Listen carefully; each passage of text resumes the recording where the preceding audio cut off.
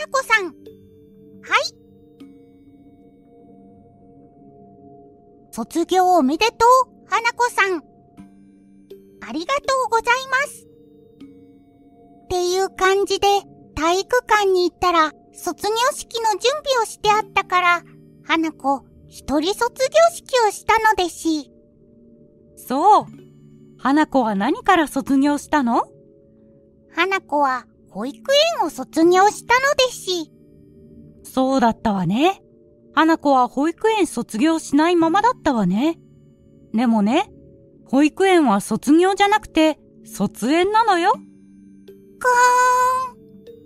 ーん。仕方ないわよ。でもお母さんが卒園式やってあげればよかったわね。花子うっかり卒園しないまま小学校のおトイレに花子さんとして居ついちゃったから。大丈夫よ、花子。元気出して。じゃあ今日はこんな話をしてあげるわ。一緒に卒業しようね。はるか、もうそっちの学校は慣れた？まだ慣れないよ。自転車で行ける範囲にコンビニすらなくってさ。どこに遊びに行くの？って聞いたら、駄菓子屋だよ、だって。小学生とかと混じって、高校生が駄菓子屋って。コンビニもファーストフードもないのは仕方ないとしてさ、カフェすらないんだよ。ああ、もちろんファミレスも車で20分行かないとない、ない。やばいね。超田舎すぎん？そんなところでどうやって保育園から変わらないコミュニティに切り込めって言うのよ。絶対無理。ああ、もう葵とミオと一緒にカラオケ行ってクレープ食べに行きたい。この話聞いてるとクレープなんてなさそうだもんね。肉屋でコロッケか、駄菓子屋でところてんしかない。ご愁傷様。大学か就職で東京戻っておいでよ。そうできるように頑張るわ。あ、もう23時か。さすがに帰らないと。じゃあね。うん。気をつけて帰ってね。なんかめちゃめちゃ暗そうだから。街灯少なすぎて、チャリごと田んぼとか用水路落ちないようにするわ。命の危険すぎ。おやすみ。うん、おやすみ。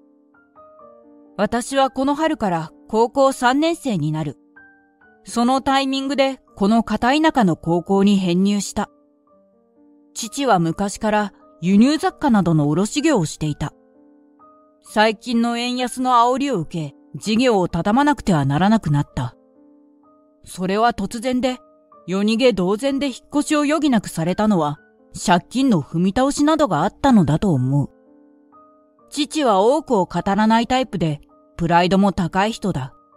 サポートをしていた母ですら、事業がそんな状況だというのは教えてもらえなかったという。だから、事前に知らされずに荷物も最低限しか持っていけなかった。転校の手続きも知らぬ間にされていて、学校の先生に必要な書類を親に渡してほしいと言われて、初めて分かったほどだった。その時の私と母の剣幕と言ったら、ものすごいものだ。お父さん、転校ってどういうこと？そういうことだ。もう今日中にはここを立つぞ。は？なんでもっと前もって言わないのよ。前もって言ったら他の人に言うだろうが。あと、引っ越しする素振りを見せるだろうこんな時間じゃ荷造り終わらないわよ。必要最低限だけ持っていけ。軽トラックに乗るだけだからな。お父さん、ほんと信じられない。私ここに残る。借金取りが来たら、お前なんかどこかの国にでも売り飛ばされて終わりだ。それでもいいなら、勝手にしろ。こんなことで引っ越してきたから、両親は毎晩喧嘩ばかり。家も急にただ同然で借りたボロボロの古民家だから、虫は出るわ、隙間風は吹くわで、とてもじゃないけど落ち着かない。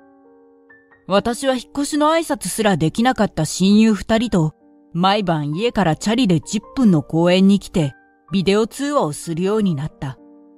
それくらいしか逃げ場がなかったのだ。葵に聞いたよ。近くに何もないって。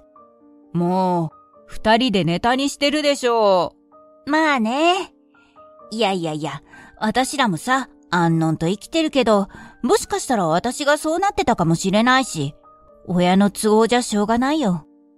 みおもうまだ全然日にち経ってないけど、もう二人に会いたいよ。私たちもはるかがいなくて寂しいよ。こんなやりとりは平日の夜、テスト期間を除き、ずっと続いた。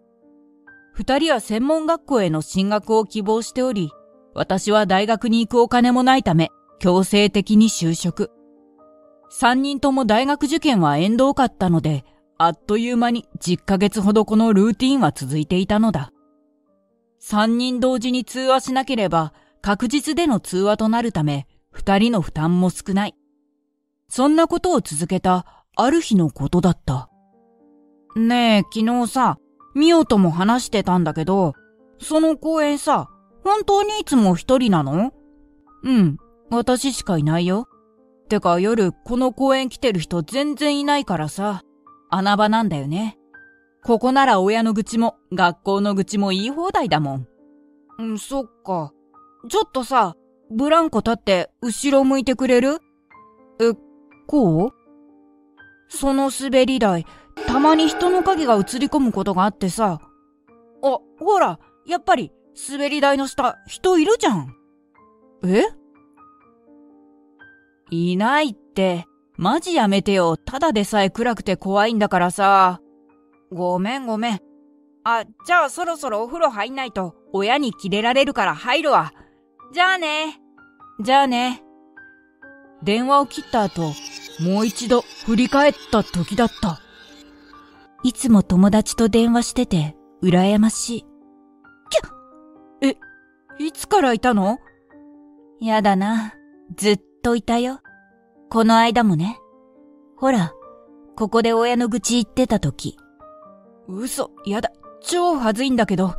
てか、同じ高校？うん。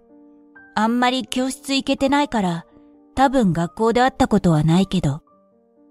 もしかして、別室登校のリモート授業組？うん、そう。便利な世の中だよね。いや、わかるよ。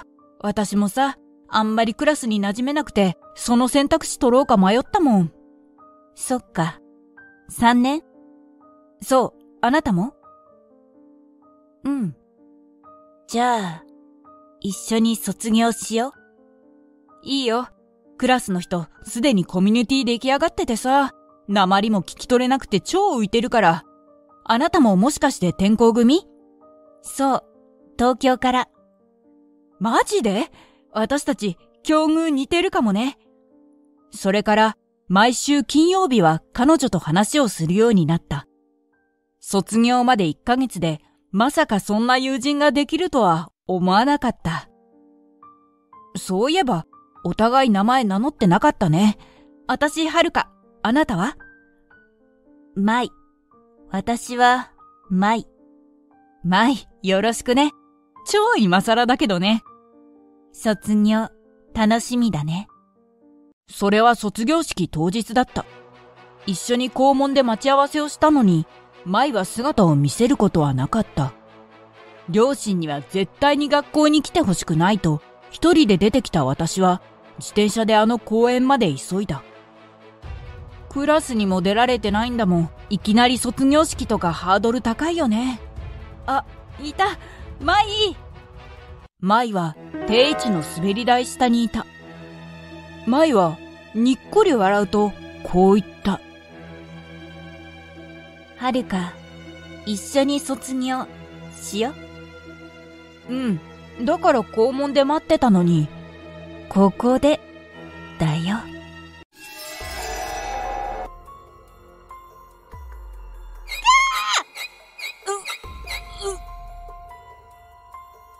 この滑り台、撤去した方がいいんじゃないですかね。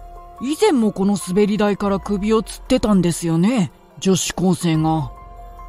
でもさ、この仏さん、途中で死ぬ気なくなったんだろうな。